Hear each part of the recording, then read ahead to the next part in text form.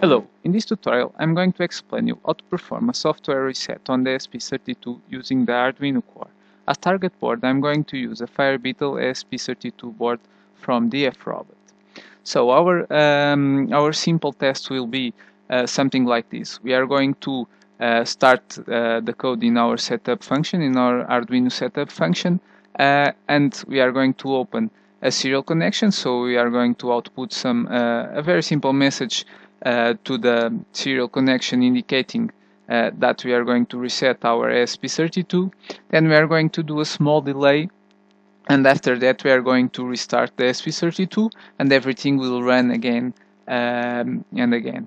So basically this is not very useful but uh, my objective with this tutorial is just show the the function that needs to be called in order to reset the ESP32 obviously this could be used in other uh, use case uh, for instance, one, one example that I find very interesting is uh, using this restart method uh, behind an behind an HTTP web server running on ESP32 and providing an endpoint that allows to remotely restart uh, the device uh, to help, for instance, if it enters in a deadlock or something like that.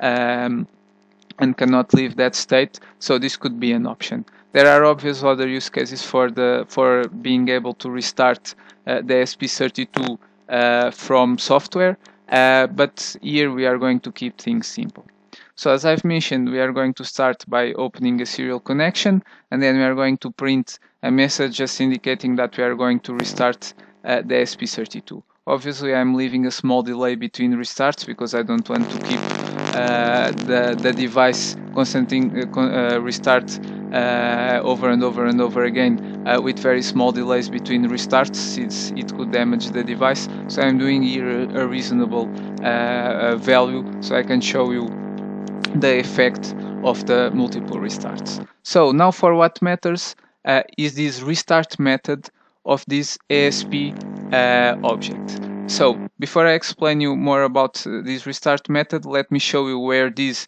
ESP variable is defined. Basically that ESP variable uh, is included by default uh, in our code, so we don't need, as you as you saw in the code, there is no need for a, a library include because the, this ESP uh, variable uh, is available by default. So as you can see here, this ESP variable is an external variable of ESP class so this is a class, it, it is called, this class is called ESP class and it, it is defined here. And it offers some um, some uh, methods related with uh, system functionalities of the ESP32.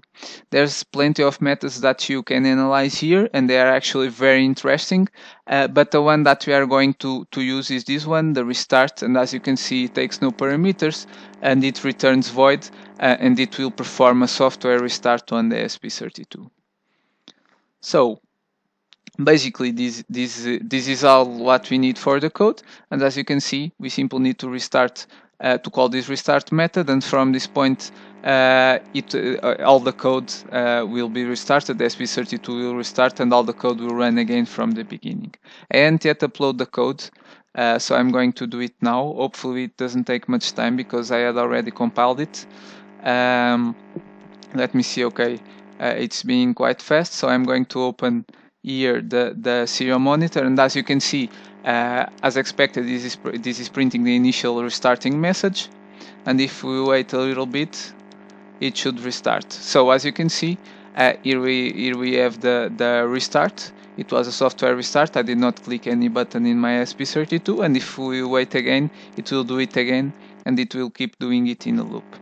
So this was just a small tutorial to introduce uh, basically this ESP variable that I'll leave a link in the description for the header file so you can explore a little bit more about the other methods that uh, this offers and they are very interesting and, and they are like system related methods that uh, may be useful for some use cases and how to do a software restart. From this point onward you can think about the multiple use cases that you can apply and do a software uh, restart. So hope you have enjoyed. Thank you very much for watching.